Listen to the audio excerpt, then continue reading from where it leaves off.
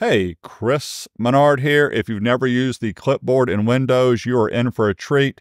I know you've heard people say in YouTube videos this will change the way you work. This one actually will if you've never used it.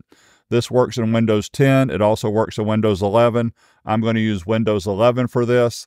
Whatever I do in Windows 11 will work in Windows 10. It does not work in other Windows versions. I know someone's going to ask me that question. What is so cool about this clipboard?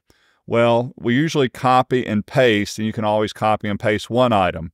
With the Windows clipboard, once it's enabled, you can copy and paste 25 items, and you can save items to your clipboard. So when your computer is restarted, those items that you saved, you can always pull back up without having to copy them again. Let's dive in right now. Step number one is make sure you enable the clipboard. Go to Start in the bottom, type in Clipboard, and you want to go to Clipboard Settings.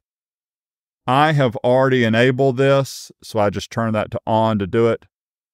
It also tells you down below here how you will pull up your clipboard history, Windows logo key, and the letter V. So not Control V, Windows logo key and V. Let's go ahead and put some stuff on my clipboard, but before I do that, I will do a Windows V.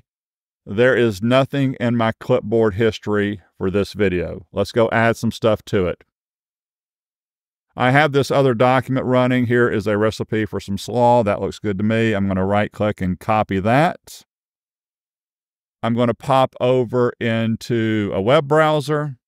I've got this paragraph here. I just want to copy just a little bit of it. Let's just copy the whole thing. That is copied. Perfect. I could go to Excel and copy also. Let's just do that. I need this information just right here. Let's copy. Excellent. Now that those items are copied, when you're ready to use one, Windows and the letter V, one, two, three items. I want to use this one. Just simply click it one time. It put that Excel information here. Windows V. I want to use the slaw recipe. Perfect. And Windows V. I want to use this paragraph right here. Click. There you go.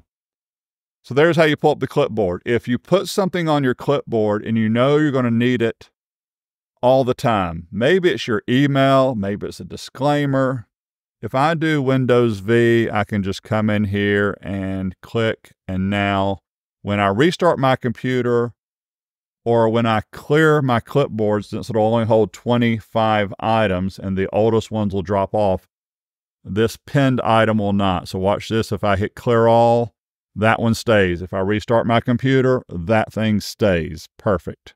Right there. Feel free to subscribe, ring the bell. If you have any questions, put them down below. And Hopefully, you trust me that the clipboard, if you've never used it, it is going to change your life and change the way you work. Have a great day. Thank you.